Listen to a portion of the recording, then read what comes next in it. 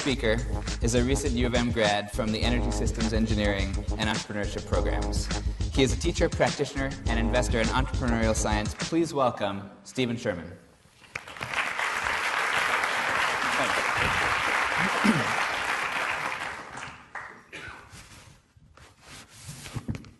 When most people think of entrepreneurship, they think of sexy ideas, brilliant founders, pitching for venture capital, 40 page business plans, TechCrunch articles, and business cards that say CEO. And while the media may paint this glorified picture, the reality is startups and new products fail. In fact, studies have found that over 90% of startups and new products fail at an average cost of about $1.5 million to fully develop and launch. The number one reason for all this? No market need. Instead of this wasteful and bloated traditional form of entrepreneurship, we're working on a new paradigm of entrepreneurial science. We assume nothing and test everything and help entre- wantrepreneurs become entrepreneurs. The key word is experiment. Rather than finding, starting with a better a plan A, a better plan A, it's about finding a better plan along the way.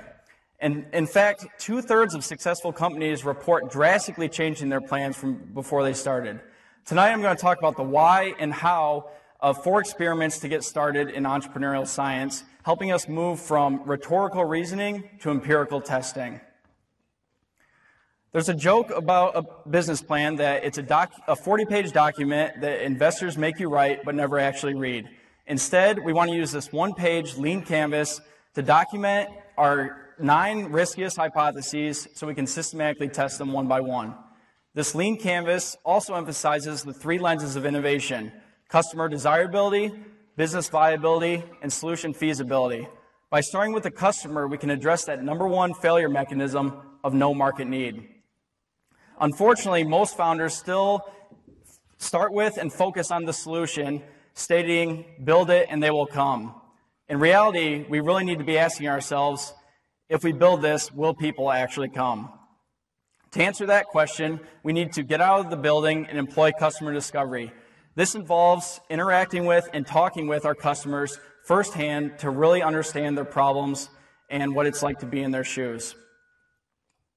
All too often, people dismiss this and cite this common quote supposedly said by Henry Ford. If I had asked people what they wanted, they would have said faster horses. And while it's true, customers are not responsible for determining their solution, that's your job as the entrepreneur.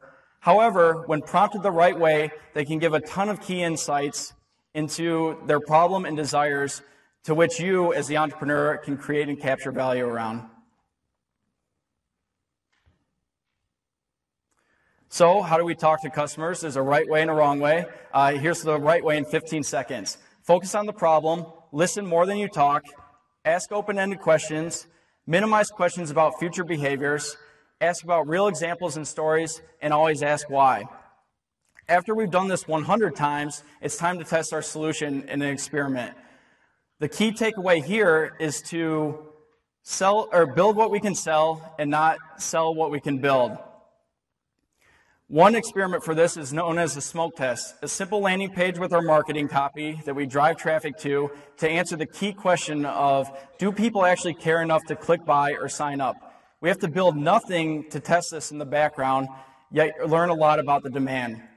After we validated the, the demand, we can move on to manually building a minimum viable product. By doing things behind the scenes and manually, we can deliver value for our early adopters and learn a lot about how they actually use the product. Now, there are a lot of ways to do this, including the Wizard of Oz MVP, the Concierge MVP, pre order sales, and just simply starting with a single high value feature. Many multi billion dollar companies have slowed down and started by doing things that don't scale this way. Most people are turned off by MVPs because they're not perfect. That's okay because at this early of a stage, everyone is not your customer anyways. We want to start with early adopters that can begin with our minimum viable product and piece together our roadmap to our product uh, vision.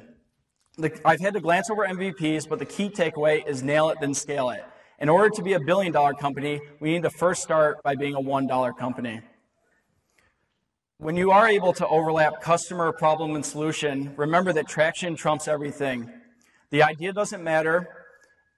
ignore non risky assumptions, and don't follow vanity metrics. Instead, continue to experiment and grow.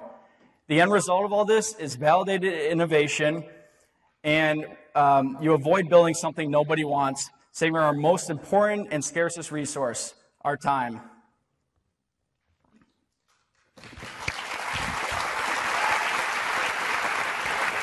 Thanks.